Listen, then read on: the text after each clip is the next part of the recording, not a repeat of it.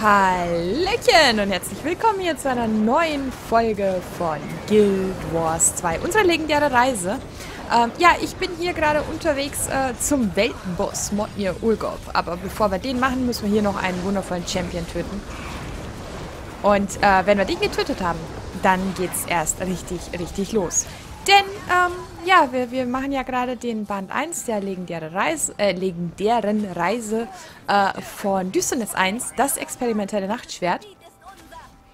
Und eine Aufgabe davon ist es hier, besiegt den Modni Ulgoth im Harati-Hinterland und plündert dieser seiner Truhe. So, jetzt habe ich die Pre-Events gerade mitgemacht und äh, ich habe vorher mein komplettes Inventar aufgeräumt. Alles das ist alles pur aus den Pre-Events ähm, von diesem Weltenboss. Also es lohnt sich tatsächlich auch, die Events mitzumachen. Ach, da oben ist noch ein Veteran. Ein Veteran? Jetzt nicht mehr. Er ist tot. Ach, guck mal. Sie hier noch ganz die ganzen Viecher mitnehmen. Ne? Gar nicht gewusst, dass es hier auch noch Veteranen gibt. Sehr schön. Na, nehmen wir mit. Hallo, Modnir. Muhahaha, unverwundbar.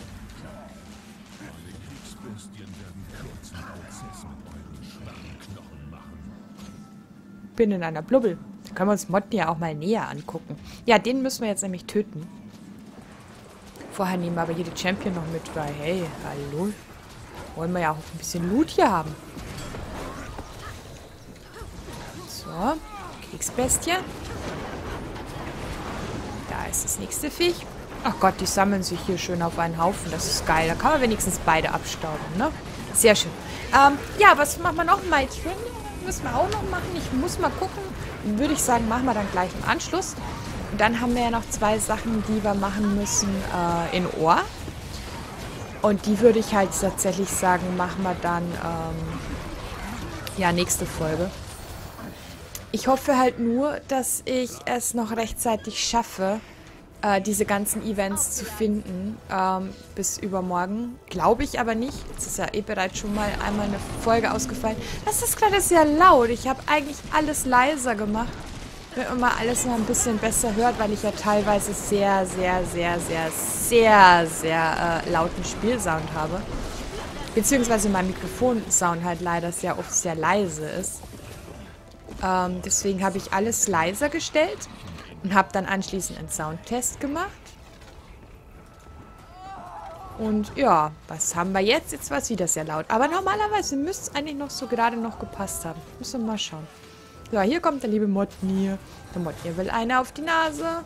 Er ist immer noch unverwundbar. Jetzt wird er gleich nochmal voll lachen oder so und dann geht's los. Ja, ja, wir sind alle Schwächlinge. Alles klar. Alles klar, Motnir. Ich verstehe. Ja, steigert mich nur rum. Alles klar, alles gut. Ja, ich dich auch, Motnir. Ich dich auch, ich dich auch.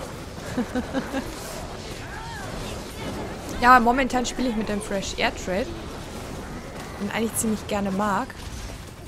Ähm, und auch die Wildheit da mitzunehmen, ist eigentlich eine schöne Geschichte. Der geht halt so verdammt schnell, der Boss.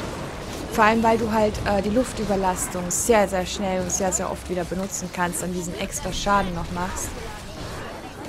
Ähm, weil du im Endeffekt, wenn du die Luftüberladung ausgecastet hast, auf ein anderes Element gehst und schon wieder zurück switcht, die Luftüberlastung halt natürlich durch den Crit ziemlich schnell wieder aufgeladen ist. So, Motniers Verderben, beziehungsweise natürlich sofort wieder aufgeladen ist. Äh, Motniers Verderben haben wir somit eingesammelt. Eine schöne Kiste haben wir auch bekommen. Ähm, das können wir uns aber später alles in Ruhe noch angucken. Wir müssen jetzt mal drin machen. Äh, zudem haben wir noch säubert die Kathedrale der Sephire mal versprungen und zerstört die Forschungsanrichtung der Inquestur bei Bauxitalchemikalien. Aber das machen wir dann andermal. Wie gesagt, ich muss gucken. Ich werde halt die beiden Sachen zusammen machen. Ähm, und werde die halt dann zusammen schneiden. Das heißt aber blöderweise auch, äh, dass ich an diesen Gebieten campen muss. Weil, äh, ja, weil was sollst du sonst machen? Kannst nichts anderes machen. Du musst dort campen. Es gibt keinen Timer oder so für diese Events. So, ich brauche 25. Ich bin immer in der falschen Fraktale drin gewesen. Also danke im Übrigen für diesen Hinweis. Okay, es gibt momentan keiner, der Fraktal 25 sucht. Dann werden wir jetzt Fraktal 25 suchen und diesmal suchen wir es wirklich. Und bleiben auch ein Weilchen da drin. So. Fraktale der Nebel. Bewerbt eure Gruppe. Fraktal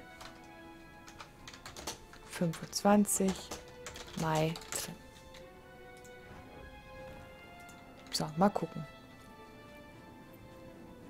Wie lange es dauert, bis wir genügend Leute haben. 25 Forschungsmodus betreten. Das kann halt jetzt ein bisschen dauern. Ich meine, ich könnte das jetzt auch einfach rausschneiden. Aber auf der anderen Seite gehört das halt auch irgendwie trotzdem zum Spiel dazu.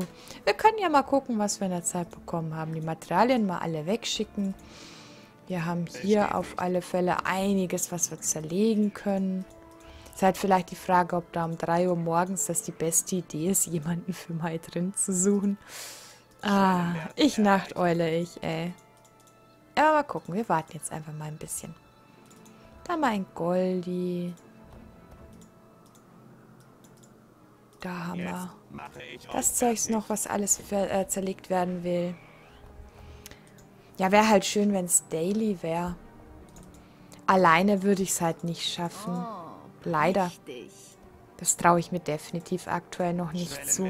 Mit einem anderen Bild könnte ich es vielleicht mal versuchen. Aber weiß nicht, ob ich das jetzt versuchen will. Ich würde es tatsächlich mit meinem äh, himmlischen PvP-Bild versuchen. Das halt bis vor kurzem noch ein PvP-Bild war. Ich wollte gerade sagen, lager das mal. Was habe ich denn für einen Ping? Komisch. Hm, seltsam. So, verkaufen wir das mal. Danke. Ich um diese Uhrzeit wirklich Pech und bekomme niemanden, der mal drin machen will mit mir? Oh, wirklich? Keiner mal drin. Es ist sehr schade. Ich habe aber auch immer ein Glück momentan mit meinen Precursor-Reisen, ne? Aber sowas von ein Glück. Es ist halt, wenn ich jetzt da reingehe und das jetzt mache, ich gehe drauf. Ich gehe sowas von drauf. Das schaffe ich niemals alleine. Ach Mensch. Ich meine, es wäre tatsächlich sehr interessant, aber es würde drei Jahre dauern. Hallo. Ja, ja, bringen wir es zu Ende. Eieiei. Ja, wir können mal gucken, wie weit ich komme. Falsches Bild dafür, aber hey. Mal gucken. Vielleicht holen wir uns noch äh, äh, hier unsere Kumpelblase dazu. Dann schauen wir mal. Wow. Nicht so toll. Hat ein bisschen wehgetan. So, jetzt machen wir mal. Nein! Wollte gerade sagen, mit der Luftüberladung da durchfetzen. Ja, solange sie auf Kumpelblase gehen, ist alles toll. Aber Kumpelblase haben sie tatsächlich schon ein bisschen wehgetan.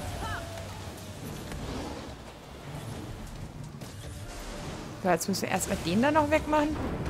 Ätherklingen, äh, äh, Gedönse da, den da. Säbelrassler. Wow, wow, wow, wow. Tut mir nicht weh. Noch ein bisschen Heilung. Oh, okay. Der tut halt dann doch ein bisschen weh. Schade.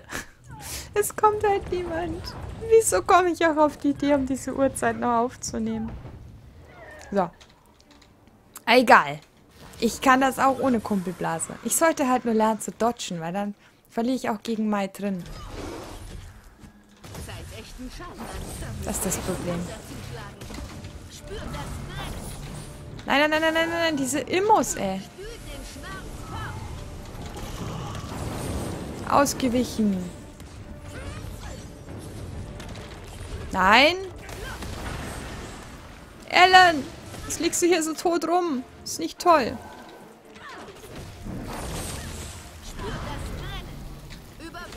Das ist nicht gut. Ich finde das gar nicht gut.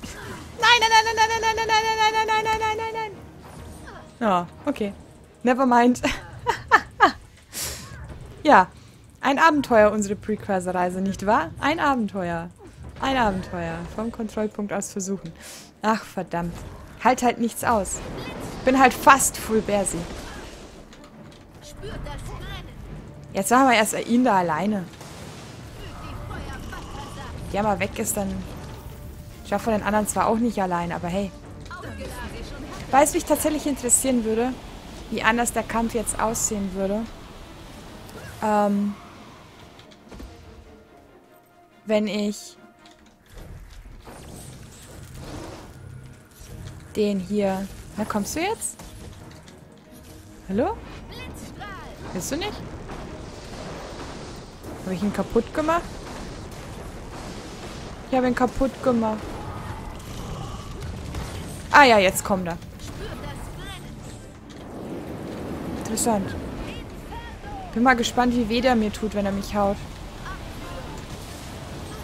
Naja, es geht eigentlich. Es war wahrscheinlich nur die Kombination aus beiden. Ja, wenn er mich stunt, das tut weh. Hallo? Pass mal auf. Ist schon gemein, der Junge.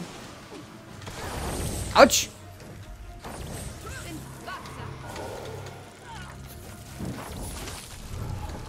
kann ihn auch im, äh, im Kreis kiten. Die natürlich auch.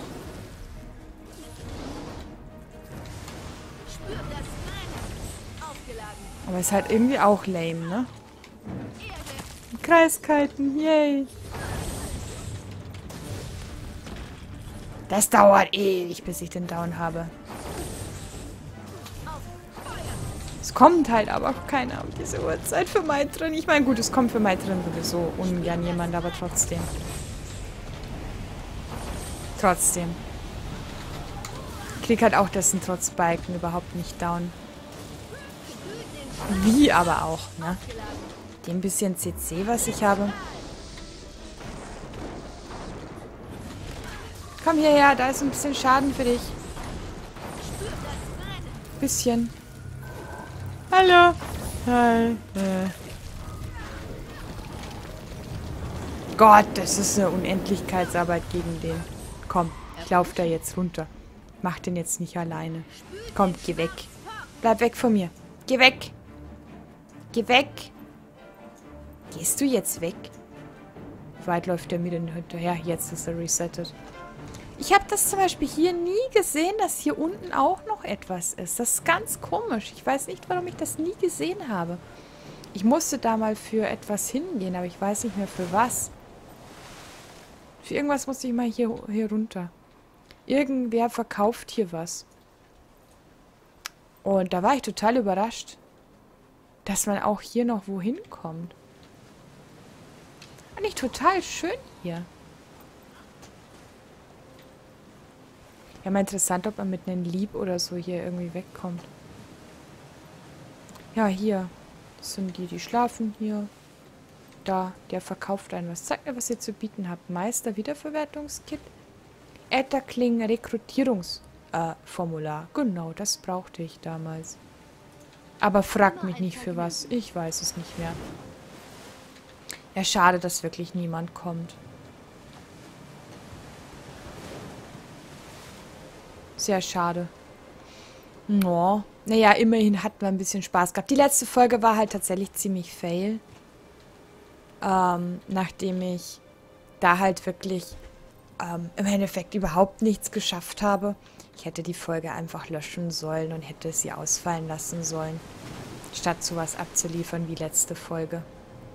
Muss ich jetzt ganz ehrlich sagen. Ähm, jetzt schauen wir mal ganz kurz nochmal, ob sich hier nochmal irgendwas... Ach, mittlerweile ist meine Fraktalsuche rausgenommen worden. Wahrscheinlich, weil sie zu lange drin war. Oh, wirklich? Wow, Spiel. Wow. Und ich warte und warte und warte. Natürlich kommt keiner. Komm, wir versuchen es noch einmal. Fraktale der Nebel. Wer habt eure Gruppe? 25. Mai drin. Ach, das ärgert mich jetzt gerade. Wahrscheinlich, wie gesagt, zu lange drin.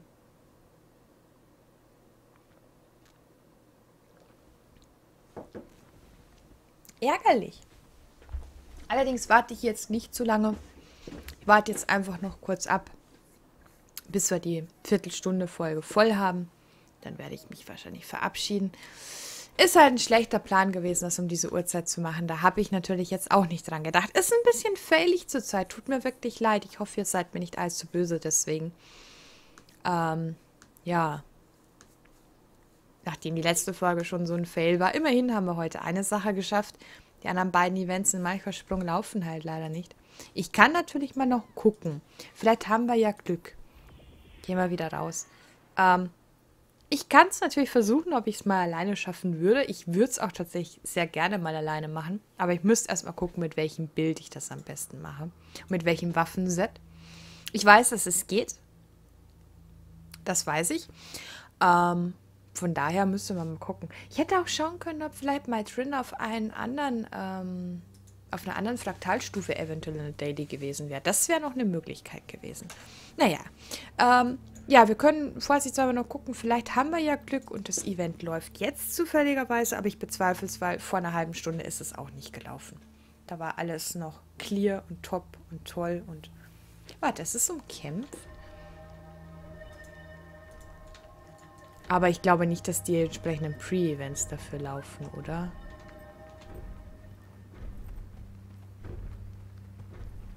Ah, das bezweifle ich jetzt sehr. Nee, ich will mich nicht mit dem Champion anlegen. Nicht wirklich. Ah, vielleicht haben wir jetzt tatsächlich Glück.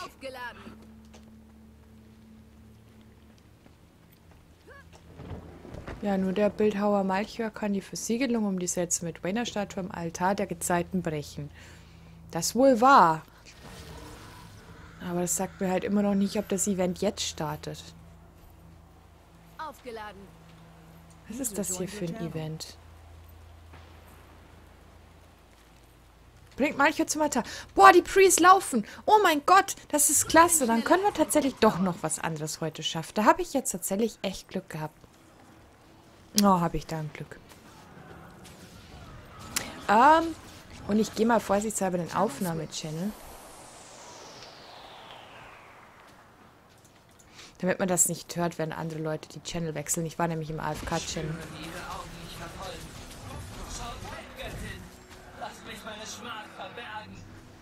Eine sehr traurige Geschichte um ihn. Deswegen ist es ganz schön, das jetzt auch mal mit Ton mitzuerleben. Meistens hatte ich keinen Guild Wars Ton an oder nur sehr leise. Sehr traurige Geschichte um ihn. Er tut mir wirklich echt leid. Kann man ihn heilen? Nein. Das Event kann also tatsächlich failen, weil man ihn nicht hochheilen kann.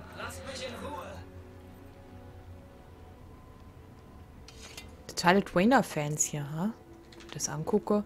Der Rüstung. Waffen. Flügeln.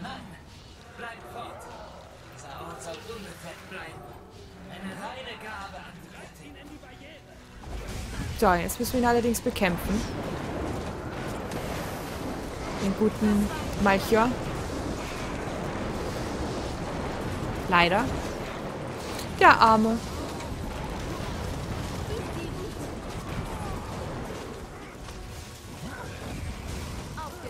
So, jetzt komm. Zähl dich nicht so. So, besiegt, äh, bringt Malcher zum Altar der Gezeiten. Event war erfolgreich. Wir haben ihn hergebracht und dann getötet. Ist das nicht schön?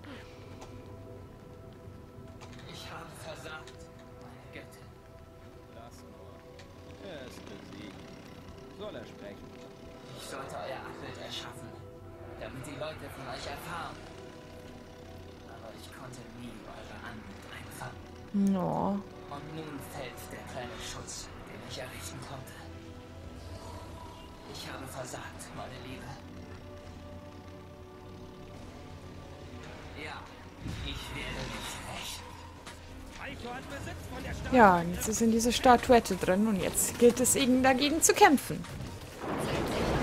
Und, ähm, bin mir nicht sicher, ist das am Anfang des Events oder immer am Ende. Da müssen wir jetzt auch gleich mal gucken. Ich werde das jetzt noch nicht verraten, was ich meine. Nicht, dass es erst am Ende des wow, Events ist. Das hat wehgetan. Tut tatsächlich ziemlich weh hier. Eieieiei. Ja, bringt mir gar nichts, jetzt hier die Aura anzuwenden, weil in dem aktuellen Bild habe ich die Heilung durch Aura nicht drin.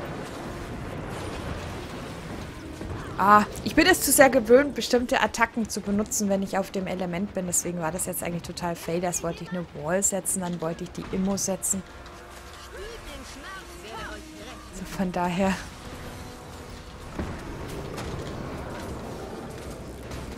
Naja, so. Aber freut mich, dass das Event hier jetzt startet. Oder hier gerade läuft. Das ist sehr, sehr gut. Also wir müssen jetzt eigentlich nur diesen Kampf hinter uns bringen und dann ist alles toll und super und klasse. Und wir könnten uns das Viech hier noch holen. Macht auch nochmal ein bisschen extra Damage. Damit es ein bisschen schneller geht. Wow, das ist halt so ein Burst-Damage, der plötzlich um die Ecke kommt. Du denkst so, WTF, wo kommt der Schaden her?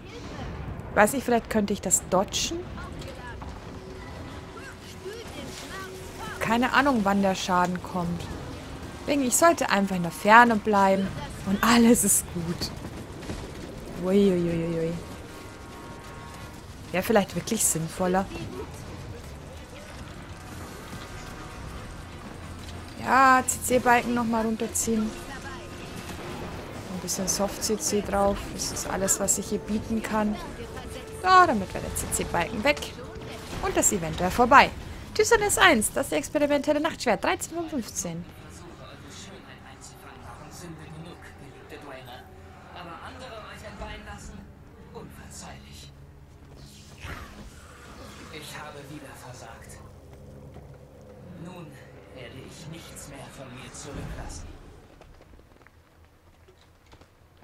Ah, oh, das ist so traurig, wenn das sagt, dass er nun nichts mehr von sich zurücklassen wird. Ich kann ja mal ein Target auf ihn setzen, damit man ihn ein bisschen besser sieht und ihn mal begleiten, was er jetzt macht.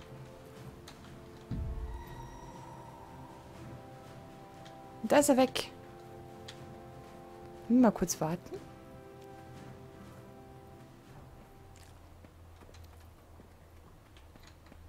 Bin mir gerade nicht sicher. Das ist das immer am Anfang des Events. Schade.